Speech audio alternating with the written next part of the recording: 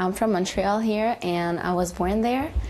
And um, my whole life, I was thinking that I would be like uh, a police officer. But then uh, I heard about that law that was coming, and that I couldn't like do what I want because of my scarf. And I think that it's sad because I feel like it's not the the symbol that is important, but the person itself. 18 year old Heba Hassan dropped out of her college program to become a cop.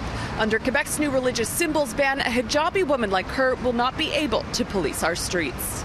Hassan's hijab has never held her back before. She was always active and played sports and knew she wanted an interesting and hands on job, so she started in the policing program. After her first session, though, she heard she might not ever be able to work in her chosen profession.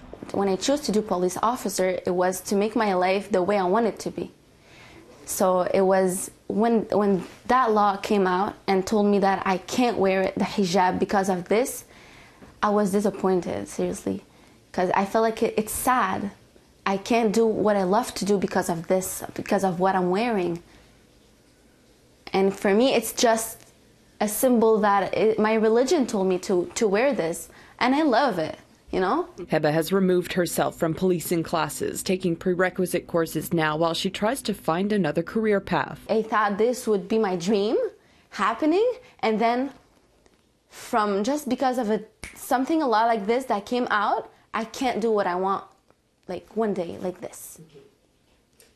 And it was really sad. It was disappointing for me. It's also a loss for the Montreal police, who recently held a job fair in an attempt to attract more visible minorities to the force. Currently, only 8.5% of Montreal police are visible minorities, compared to 33% of Montrealers who are visible minorities or Indigenous. Mayor Valérie Plante plans to present the CAQ a commission outlining the impacts the bill will have on a city as diverse as Montreal.